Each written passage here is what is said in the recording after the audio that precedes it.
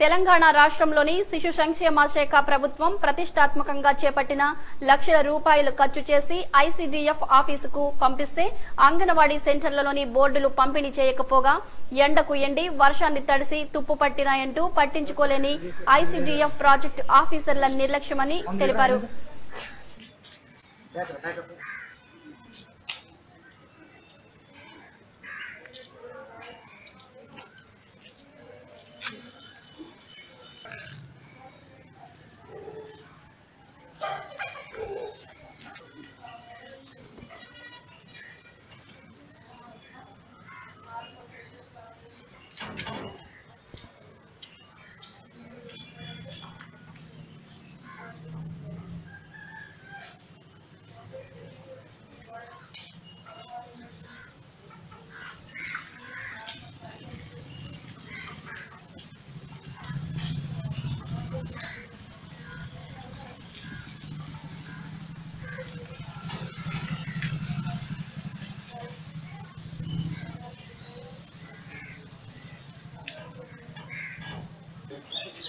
你刚才说的，你刚才说的，你